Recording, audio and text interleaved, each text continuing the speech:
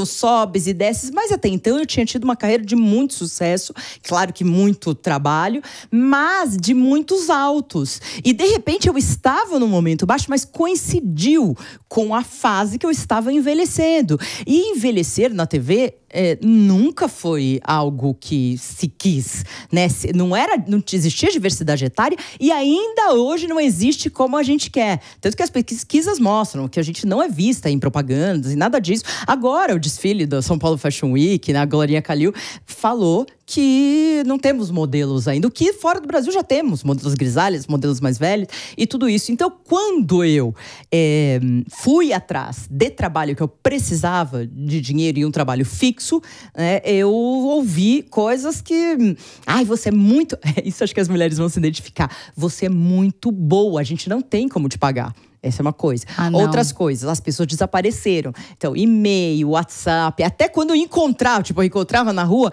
a pessoa sabia que eu ia chegar e porque eu realmente estava precisando. Quando você pega neste limite, que você, a sua reserva terminou ou você não fez uma reserva, você de repente se viu numa separação, tá com os filhos, tá sem dinheiro, não se programou para esse momento da vida, que é um momento de planejamento, o livro fala muito dos 40 aos 50, porque pega muitas mulheres que estão aí na transição achando, ah, eu tô velha, vou acabar, não sei o quê. E o mundo fala ainda para elas hoje. Não existe essa diversidade etária como a gente quer. As empresas estão se entendendo, mas elas não sabem o que fazer com as pessoas maduras, porque muito é de tecnologia. Nós não somos nativas digitais, eu nasci em 1971, eu sou total nativa analógica, eu comecei na máquina de escrever, eu fiz curso de, de datilografia, entendeu? Eu ligava para pessoas para apuração, não era uma coisa, não tinha WhatsApp, não tinha Google Google, não tinha nada.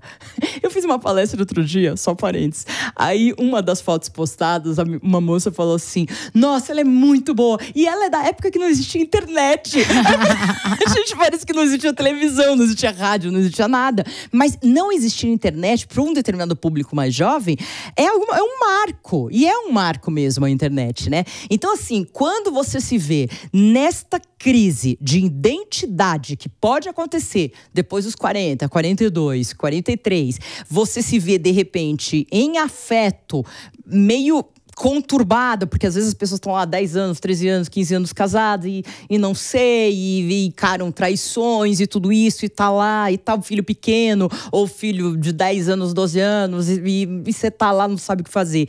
E você se vê sem o trabalho que você precisa do dinheiro, e com o processo de menopausa, que pode começar por volta dos 40, 42, é, mas a maioria Momento não começa, tá? complexo. tá? Não começa com 40 e 42. A maioria por volta dos 48, com 49 e 50. 50 é a média que as mulheres brasileiras entram, de 50 e 52 na menopausa. Então, tudo isso tem que ser planejado, visto antes. Você precisa entender os processos. E o objetivo desse livro é esse.